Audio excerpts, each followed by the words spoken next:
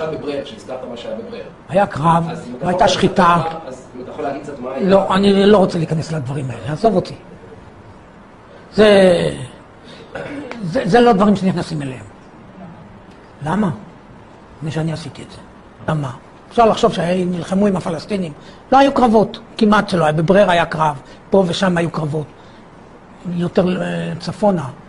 אבל קרבות גדולים לא היו. למה? מפני שהם לא היו בעלי כושר צבאי. הם עצמם הם היו כל כך עניים, כל כך מסכנים, שהם הם, לא היה להם, גם נשק לא היה להם. מי נתן להם נשק?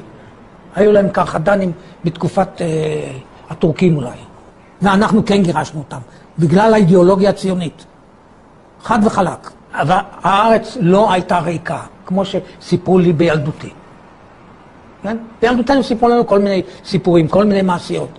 הארץ לא הייתה ריקה אף פעם. אני ראיתי, אחרי שבאתי בצפון, ראיתי כפרים שהכרתי אותם, הרוסים, כן? ואחרי כמה שנים גם עלו עם בולדוזרים כדי שלא יישאר כלום, ונטו עליהם עצים. והיו כפרים שלווים ושקטים, כן? שהגיע להם להישאר על אדמתם, כמו שהם היו חמשת אלפים שנה קודם.